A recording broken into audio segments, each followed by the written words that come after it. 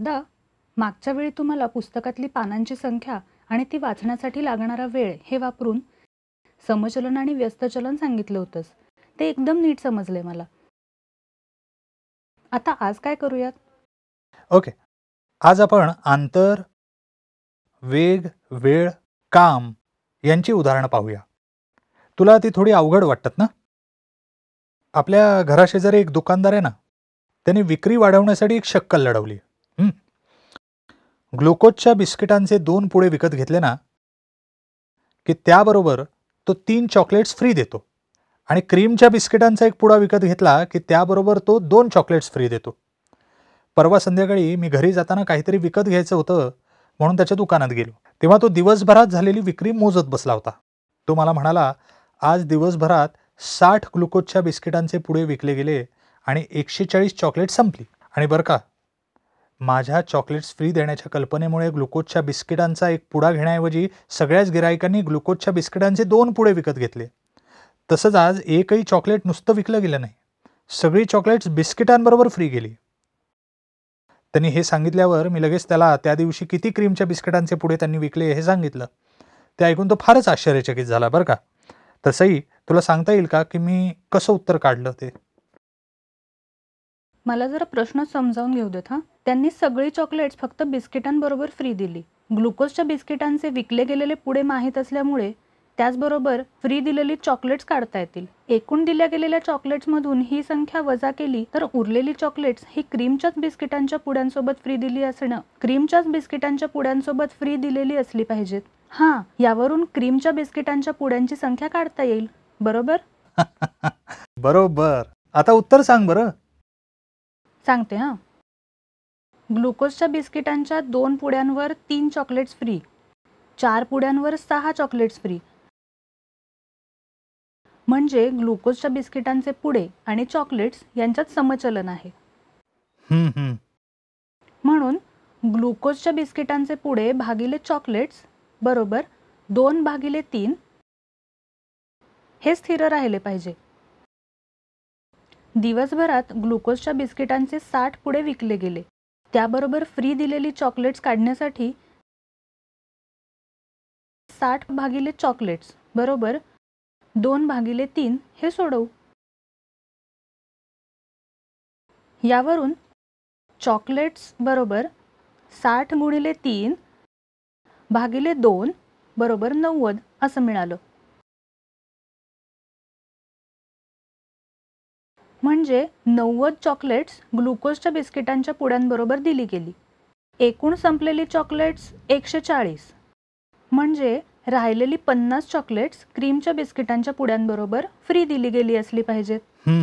क्रीमच्या बिस्किटांचे पुडे आणि चॉकलेट्स यांच्यात पण समचलन असल्यामुळे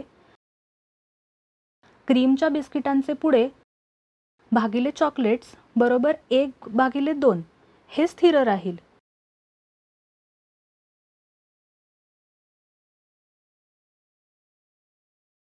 आता क्रीमच्या बिस्किटांच्या पुड्यांबरोबर पन्नास चॉकलेट्स दिली असल्यामुळे क्रीमच्या बिस्किटांचे पुडे भागिले पन्नास. बरोबर एक भागिले दोन. म्हणजे क्रीमच्या बिस्किटांचे पुडे बरोबर एक भागिले दोन हे सोडवू. म्हणजेच क्रीमच्या बिस्किटांचे पुडे बरोबर पन्नास भागिले दोन बरोबर पंचवीस असं मिळेल. याचा अर्थ त्या दुकानदाराचे दिवसभरात पंचवीस क्रीमच्या बिस्किटांचे पुडे विकले गेले. शाबास सई आता दुसरं उदाहरण हं.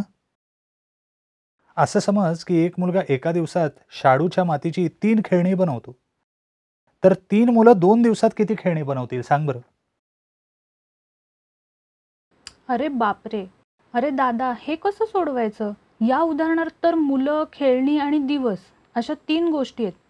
आणि त्या सगळ्याच बदलत आहेत हे बघ सई नीट टप्प्याटप्प्याने विचार करूया.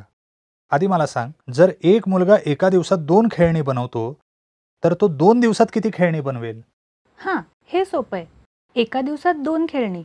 म्हणजेच ज्या प्रमाणात दिवस वाढतील त्याच प्रमाणात खेळणी पण वाढतील. याचाच अर्थ खेळणी आणि ती बनवायला लागलेले दिवस यात समचलन आहे. आता खेळणी भागिले दिवस बरोबर दोन भागिले एक. बरोबर दोन. म्हणून दिवसांची संख्या दोन असताना आपल्याला खेळणी भागिले दिवस बरोबर दोन. म्हणजेच खेळणी बरोबर दोन गुणिले दोन बरोबर चार असं मिळेल. म्हणजे दोन दिवसात तो चार खेळणी बनवेल.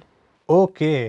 आता मला सांग जर एक मुलगा दोन दिवसात चार खेळणी बनवतो तर तीन मुलं दोनच दिवसांमध्ये किती खेळणी बनवतील? ओके दादा. आता दिवसांची संख्या बदलत नाहीये. मग आता मुलांची संख्या ज्या प्रमाणात वाढेल त्याच प्रमाणात त्यांनी केलेलं काम म्हणजेच खेळणीही वाढतील. परत. एकदा समचलनच आहे. आता गुणोत्तराची किंमत खेळणी भागिले मुलं बरोबर चार भागिले एक बरोबर चार अशी मिळतीये.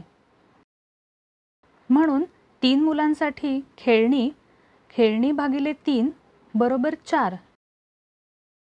यावरून खेळणी बरोबर चार गुणिले तीन बरोबर बारा असं मिळेल. म्हणजे दादा तीन मुलं दोन दिवसात बारा खेळणी बनवतील. शाबासे तुझ्या लक्षात आलं का? तू उदाहरण पूर्ण सोडवलंस. उदाहरणांचे नीट टप्पे पाडले आणि एक एक टप्पा सोडवला की शेवटी सगळं उदाहरण सोडवता येतं हो की नाही? हो दादा. टप्प्याटप्प्यांनी विचार केल्यावर उदाहरण एकदम सोपं होऊन गेलं. हम्म, हम्म. आधी आपण एका मुलाने एका दिवसात बनवलेल्या खेळण्यांवरून त्यांनी दोन दिवसात बनवलेल्या खेळण्यांची संख्या शोधली आणि मग ते वापरून तीन मुलांनी दोन दिवसात बनवलेल्या खेळण्यांची संख्या शोधली. बरोबर. आता हे सोडव बरं. जर एक मुलगा दोन दिवसात पाच खेळणी बनवत असेल तर चार मुलांना तीस खेळणी बनवायला किती दिवस लागतील?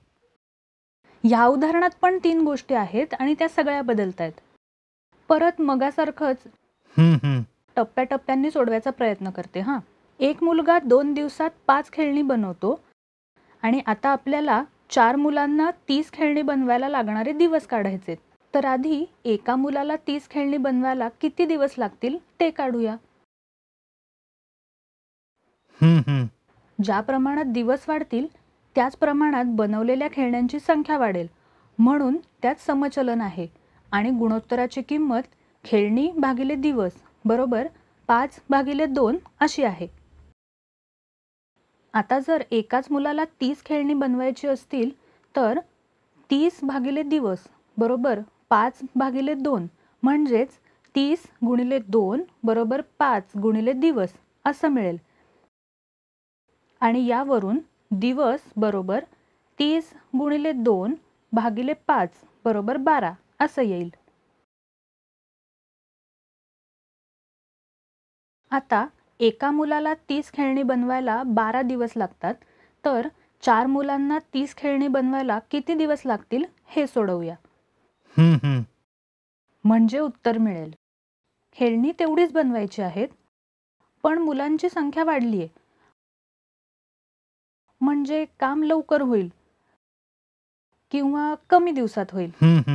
याचा अर्थ खेळणी बनवायला लागणारे दिवस आणि मुलांची संख्या यात व्यस्त चलन आहे. म्हणून त्यांचा गुणाकार स्थिर राहील. एका मुलाला बारा दिवस लागतात. त्यामुळे दिवस गुणिले एक बरोबर बारा आहे.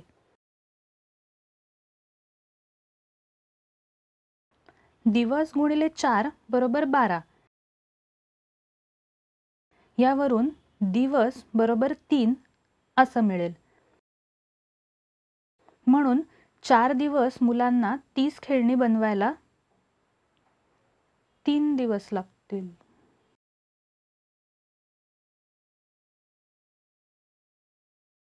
चार मुलांना तीस खेळणी बनवायला तीन दिवस लागतील.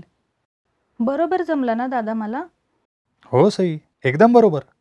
दिलेल्या उदाहरणाचे टप्पे नीट लक्षात घेऊन योग्य त्या ठिकाणी समचलन आणि व्यस्तचलन नीट वापरलंस. आता हे तुझ्या नीट लक्षात आलं ना?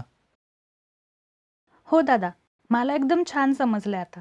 आणि बरं का सई या उदाहरणातली तयार केलेली खेळणी म्हणजेच केलेलं काम त्यासाठी लागणारा दिवस म्हणजेच कामासाठी लागणारा वेळ आणि तसंच एका मुलाने एका दिवसात केलेलं काम म्हणजेच कामाचा वेग हे लक्षात घे. म्हणजेच तुला काम वेळ वेग यांची उदाहरणं अवघड वाटणार नाहीत. हो दादा. मित्रमैत्रिणींनो आता हे उदाहरण तुम्ही सोडवा बरं का. जर तीन मुलं दोन दिवसात पाच खेळणी बनवतात तर दहा खेळणी तीन दिवसात बनवण्यासाठी किती मुलं असावी लागतील? सांगा बरं.